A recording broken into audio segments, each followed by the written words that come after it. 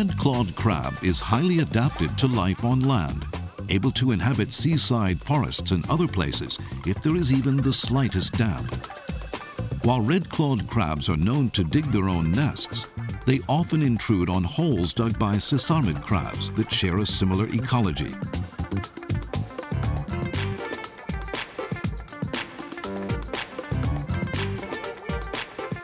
Sesarmid crabs aren't as well adapted to land as red-clawed crabs, so they never fare too far from the seaside. Red-clawed crabs, on the other hand, would be capable of living deep in the forest if they wanted to. So why is it that the red-clawed crab never ventures far from the ocean?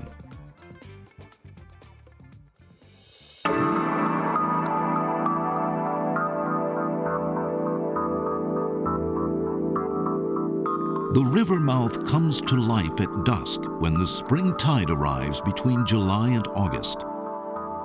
Inherently cautious, red-clawed crabs begin a mass exodus to the river over dangerous obstacles, including roads, scrambling for the river in a short-lived spectacle that lasts less than an hour.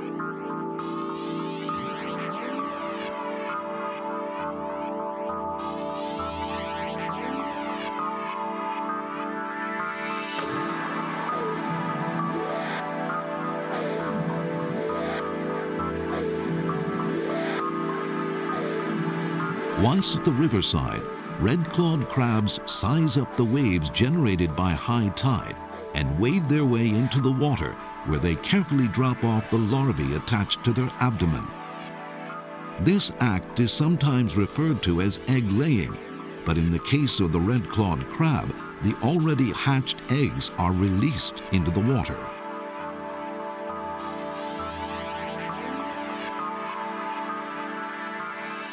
Crab larvae are divided into two stages of growth, with the newly hatched larvae called zoea. For reasons not yet fully understood, these zoea need a saltwater environment to grow, a fact that also applies to the shore-going red-clawed crab.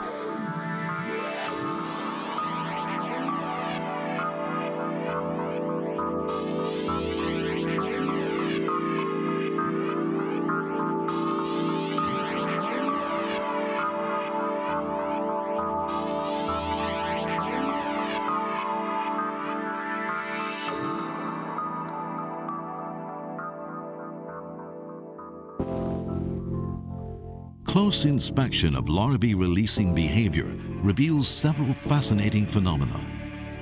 If there are man-made objects on the riverside, red-clawed crabs only use those going right up to the water's edge, as if to evaluate the tide.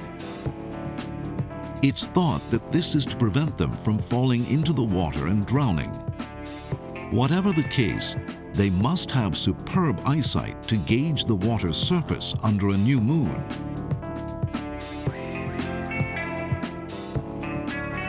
Even when entering from the shore, red-clawed crabs only ever jump in towards the flow of the high tide.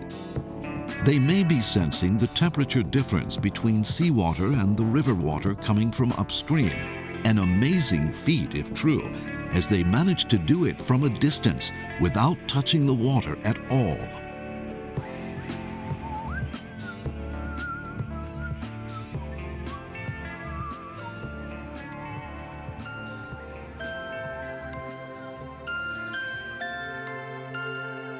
After releasing the larvae, female crabs rush back to the forest, only to be ambushed by males seeking to reproduce.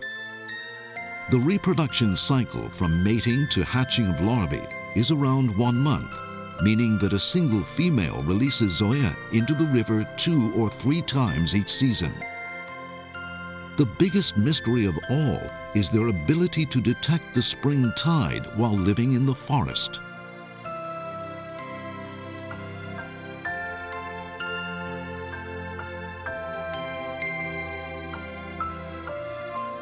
There may be grassland on the way from the forest to the river mouth that leaves them highly vulnerable to predators such as birds. It is thought that the releasing of larvae takes place between July and August as the spring tide and sunset coincide. This goes well beyond the realm of visual and temperature sensors and would not be possible without a sensor for precisely measuring the tide.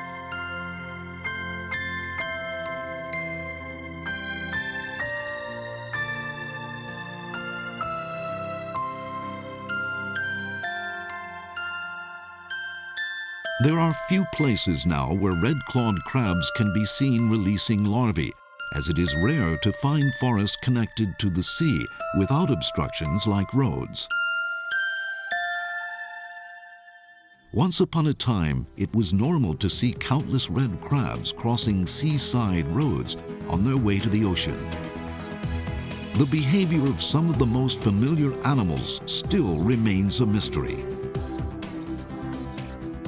there is still much speculation about what sensors red-clawed crabs use to measure the world around them.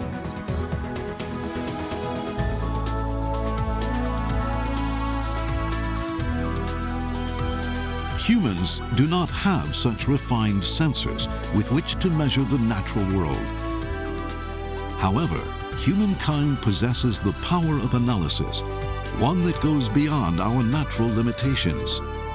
The protection of this diverse and beautiful Earth through the analysis of nature is a mission that has been entrusted to humankind.